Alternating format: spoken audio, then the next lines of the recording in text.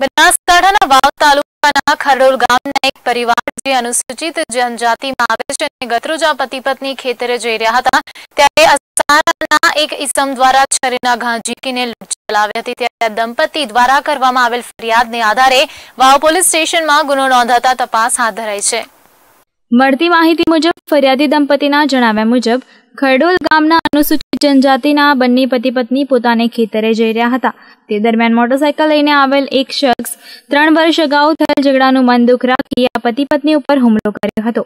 સાથે જ હુમલાખોરે મહિલાના નાકમાં રહેલ નાકની નથડીની લૂંટ કરી હતી અને સાથે જાતિ વિષયક અપમાનિત શબ્દો બોલી છાતીના ભાગ ઉપર છરીના ઘા મારી હિંસક હુમલો કર્યો હતો.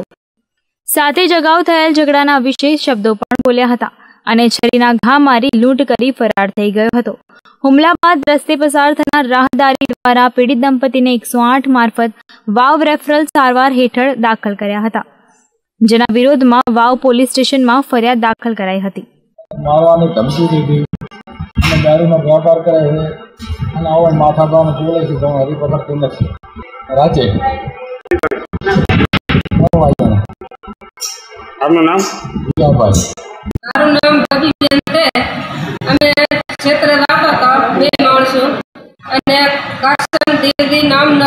અસારા ગામનો રજપૂત અને અમે બે મનક ગાતા હતા અને એણે વચ્ચે બાઈક ઊભો રાખી અને મારા પતિને એમણે ભેટ કહી અને માર માર્યો.